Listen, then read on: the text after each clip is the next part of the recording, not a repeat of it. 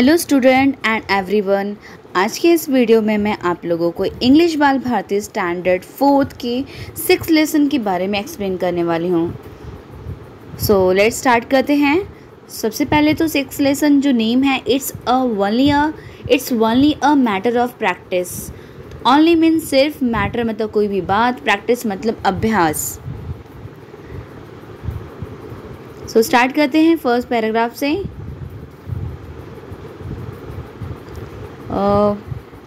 Long, long ago in faraway China, there lived an archer called Chen Yaozi.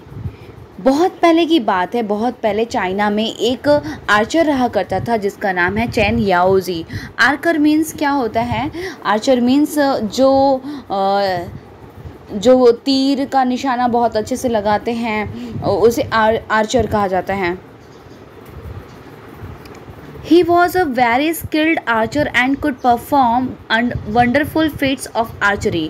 और वो बहुत अच्छे जो स्किल्ड आर्चर थे, जिन्हें बहुत अच्छे से निशाना लगाना आता था धनुष बाण से and could perform wonderful feats of archery और अपना खुद एक अद्भुत जो है, वो आर्चरी जो है, वो परफॉर्म करते थे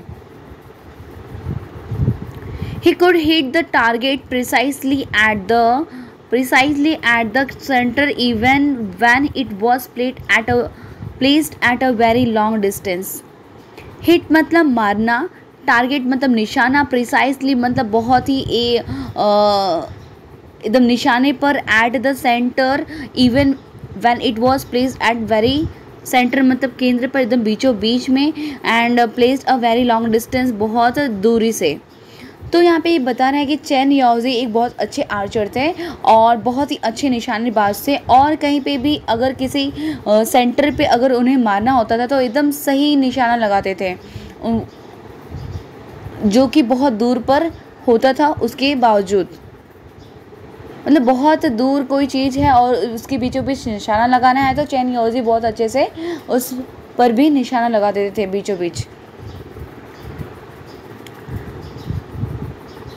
He liked to show off his skill to the uh, admiring crowds that gathered around him. और उन्हें अपने स्किल्स को क्राउड में भीड़ में शो करना दूसरों के सामने दिखाना उन्हें बहुत ही पसंद था।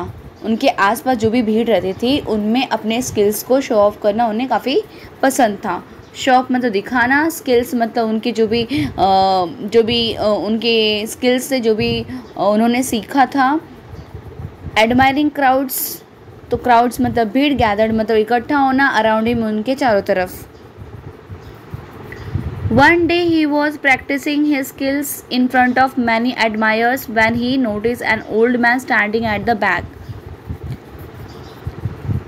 Practising मतलब प्रैक्टिसिंग मतलब कि प्रैक्टिस करना किसी चीज़ का skills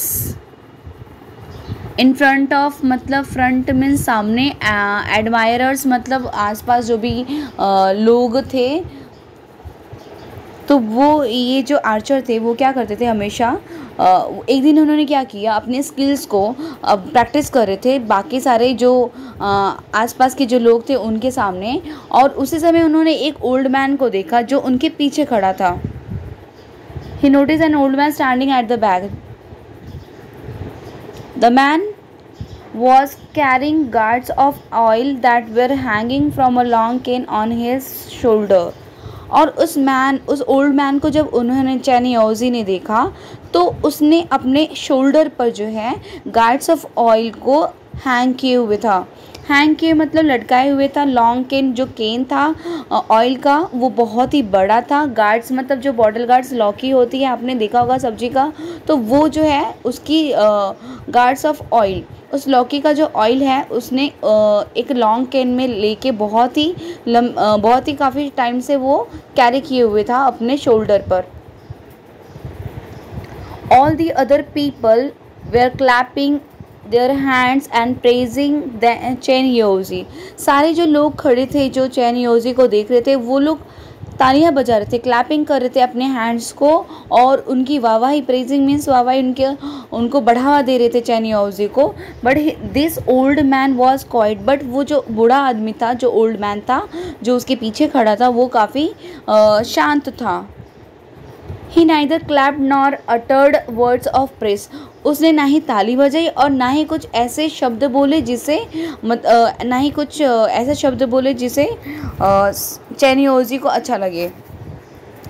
He just stood there nodding his head वो बस खाली दूर खड़े अपने सिर को हिला रहा था। And said it's just a matter of practice और कहा, और सिर को हिलाते हुए, अपने सिर को हिलाते हुए उन्होंने यह सिर्फ़ कहा कि ये सिर्फ़ एक प्रैक्टिस की वजह से हुए। हो सकता है। It's just a matter of practice मतलब यह बात जो है, ये जो चीज़ें कर रहे हैं चैनी ये इनके सिर्फ़ प्रैक्टिस की वजह से हुआ है, ऐसा उन्होंने कहा। ना ही उस चैनी ओजी की वाहवाही की, ना ही क्लैपिंग किया, जबकि बस खाली it's just a matter of practice यह कहा। देन चैनियोजी वॉज़ एनॉयड तो यह देखकर चैनियोजी जो है वो गुस्सा हो जाता है। Are you archer yourself do you think anyone can do what can do with my bow and arrows जो चैनोजी है, वो एनॉइड गुस्सा हो जाता है और वो are you an archer yourself क्या खुद तुम आर्चर हो? Do you think anyone can do क्या तुम आर्चर हो खुद?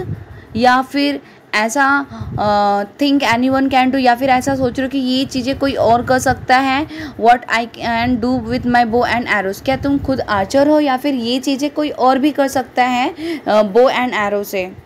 जो कि मैं कर रहा हूँ ऐसा चैनियोजी जो है वो ओल्ड मैन से कहता है। No sir the old man replied तो फिर ऐसा ओल्ड मैन ने क्या रिप्लाई किया यह सुन के? उसने कहा नो no, सर ऐसा उत्तर दिया I am not an archer मैं एक आर्चर नहीं हूँ। And I don't doubt your skill और ना ही मुझे आपके आपकी जो स्किल्स हैं, जो आपने जो सीखी हैं, ये चीज़ें मुझे उस पर कोई संदेह भी नहीं है, कोई डाउट ही नहीं है। All I said was everything's matter of practice मैंने तो सिर्फ़ इतना ही कहा कि ये सारी चीज़ें सिर्फ़ प्रैक्टिस की वजह से हुई, हो पाई हैं। Then Chen Yaozi become very angry तो फिर यह सुनकर चैन योजी फिर से मतलब वो गुस्सा हो जाता है।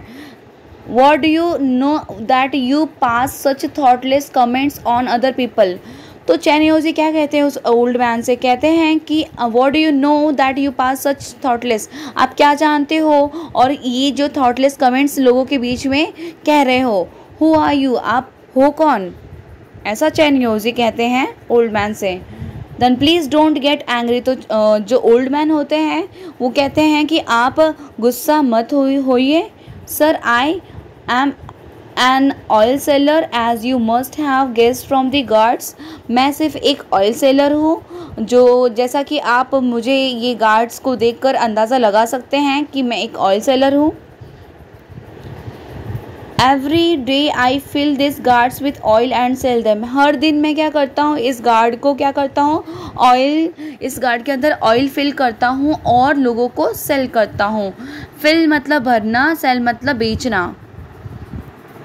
Over the years I have achieve some skills in filling the gourd so बहुत सालों, कुछ सालों, बहुत सालों से मैंने क्या, ये स्किल्स जो है, मैंने अचीव किया है गार्ड में ऑयल फिल करना। मतलब कि गार्ड में हमेशा मैं ऑयल जो है, ये भरते आ रहा हूँ। मुझे बहुत काफ़ी साल हो गए हैं। If you allow I will show you show it you to you अगर आप मुझे इजाज़त दें तो फिर मैं आपको दिखाता हूँ। अलाउ मतलब शो करना। हम्म। ग्राउल्ड चैन याओजी तो फिर जब यह सुनता है चैन याओजी तो चैन याओजी कहते हैं कि ठीक है, ऐसा मतलब गुस्से से उन्होंने कहा। ग्राउल्ड मीन्स मतलब कि गुर्राते हुए, अंदर से मतलब कि नाराज़ होकर गुस्से होके, जो है उस ओल्ड मैन से कहते हैं। Everybody was curious to see what would happen next सारे लोग जो वहाँ पे और भी सारे लोग जो खड़े थे वो सारे लोग उत्सुक थे क्यूरियस थे। बहुत ही उनके अंदर जानने की इच्छा थी कि क्या होने वाला है? ये ओल्ड मैन क्या करने वाला है? क्या शो करने वाला है सब सब लोगों के बीच? द नेक्स्ट पेज पर आते हैं। Patiently the old man sat down and empty gourd on the ground तो बहुत ही धैर्यपूर्वक से वो जो ओल्ड मैन था, वो सेट डाउन हो गया, नीचे बैठ गया और जो गार्ड था, लॉकी गार्ड मीन्स लॉकी एम्प्टी मतलब खाली। तो खाली जो लॉकी था, जो एम्प्टी गार्ड था, उसको ग्राउंड पर रख देता है, ज़मीन पर रख देता है। Then he put a small coin on the mouth of the gourd फिर उसके बाद उस गार्ड के एकदम माउथ पर, एकदम टॉप पर जो है, उसके फे माउथ के इधर कॉइन को रख देता है। फिर क्या होता है in those days small coins had a little hole at the centre तो यहाँ पे ये लिखा है कि जो पहले के टाइम पे जो कॉइन्स होते थे, उनके बीच में होल्स हुआ करते थे। उनके सेंटर में होल हुआ करते थे। ये कॉइन है और उनके मिडल में जो है होल्स हुआ करते थे, इस तरीके से। So next then the old man stood up took some oil in his ladle and began to pour oil into the guard from a height फिर क्या हुआ उस खाली गार्ड को जो है ओल्ड मैन ज़मीन पर रखते हैं, उसके बाद उसके ऊपर फेस उसके फेस पर, उस गार्ड के फेस पर ऊपर सबसे टॉप पर कॉइन रख देते हैं, जिसमें होल रहता है। और फिर उसके बाद जो है, खड़े हो जाते हैं स्टूड अप मीन्स खड़े हो जाते हैं एंड टुक सम ऑयल उसके बाद कुछ ऑयल लेते हैं। हिज लेडल अपने लेडल में जो मतलब कि जिससे वो ऑयल लेते हैं, उसे लेडल कहते हैं and began to pour oil उसके बाद वहाँ से फिर वो खड़े होकर जो है, उसको पोर करने लगते हैं, नीचे गिराने लगते हैं into the gourd from a height कहाँ पे गिराने लगते हैं? गार्ड गार्ड पर गिराने लगते हैं। गार्ड पर गिराने लगते हैं कुछ हाइट पर, कुछ ऊंचाई से। हाइट मीन्स ऊंचाई। The oil went straight into the gourd through the hole और वो ऑयल क्या होता है? वो सीधे गार्ड के अंदर, उस कॉइन के होल के अंदर से पास होके वो गार्ड के अंदर चला जाता है। When the old man had finish filling of the gourd जैसे ही वो गार्ड को ऑयल से पूरा फिल कर देता है फिल करके ख़त्म कर देता है। He lifted up the coin तो उसके बाद वह उस कॉइन को हटा देता है। Not a trace of oil could be seen on it और ना ही एक भी ऑयल का कुछ भी मतलब ऑयल जो है, उस पर कॉइन पर लगा नहीं होता है। The people watching it were speechless with wonder तो यह देखकर सारे जो लोग थे, वो बिना मतलब कि वो कुछ बोल ही नहीं पाए। स्पीचलेस हो गए। मतलब कि उनके मुँह से कुछ भी नहीं मतलब कि वो अनेबल टू स्पीक कुछ कह ही नहीं पा रहे थे यह देखने के बाद। But the old man only smile लेकिन जो ओल्ड मैन जिन्होंने गार्ड को फील किया, वो काफ़ी मतलब थोड़ा सा उन्होंने स्माइल किया। As I said this nothing special about it और क्या कहा? स्माइल करते हुए कि ये जो चीज़ें हैं, मैंने ये कुछ स्पेशल चीज़ें नहीं है। ये सिर्फ़ it's only a matter of practice use ये सिर्फ़ प्रैक्टिस की वजह से ही हो पाया है, जो कि आप देख रहे हैं। Chen Yaozi lost all his anger and annoyance तो ये सारा चीज़ देखकर चैन योजी जो है अपने सारे गुस्से को जो है लॉस कर देता है एंगर मीन्स गुस्सा लॉस मीन्स खो देता है अपने गुस्से को आ, हटा देता है एंड एनोयनेंस जो भी उसके अंदर आ, आ, जो एनोयनेंस थे जो भी नाराज़ था नाराज़गी थी जो गुस्सा था वो सारा वो जो है वो हटा देता है। He just give a short laugh and said और उन्होंने मतलब चैन योजी, क्या करते हैं? अपने गुस्से और नाजगी को सारा मतलब कि हटा देते हैं और थोड़ा सा स्माइल करते, हँसते हैं और क्या कहते हैं? Said you have taught me something important today आज तुमने मुझे कुछ नया चीज़ सिखाया है। After that Chen Yaozi never show off और boasted about his skills as an archer उस दिन के बाद से चैन योजी ने कभी भी अपने स्किल्स को जो है शो ऑफ़ नहीं किया किसी के सामने। शो ऑफ़ मतलब दिखाना। शो ऑफ़ मतलब दिखावा करना। Show off and boasted both meaning are same skills मतलब अपने जो भी उस, उनके जो भी स्किल्स थे आर्चर मीन्स जो तीर धनुष बाण चलाते हैं, उसे आर्चर कहते हैं।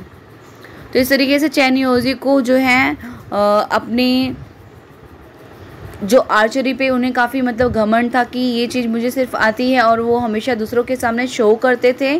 तो ये ओल्ड मैन की वजह से ओल्ड मैन ने बस इतना कहा कि it's only matter of practice इसके कारण उन्होंने और भी बहुत सारी चीज़ें शो करके दिखाई।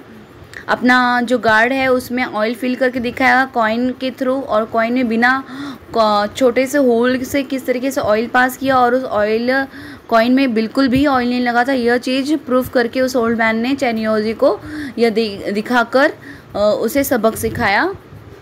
इस तरीके से चैनियोजी जो है, फिर कभी अपने स्किल्स को जो है, किसी के सामने शो ऑफ़ नहीं करते थे। नहीं तो उन्हें लगता था कि ऐसा आर्चर सिर्फ़ मैं ही हूँ इस दुनिया में और मेरे जैसा कोई भी नहीं है। तो यह चीज़ देखने के बाद आर्चर को जो है चैन्योजी को है, समझ में आया। Thank you for watching my this video guys if you like this video then please like subscribe and share thank you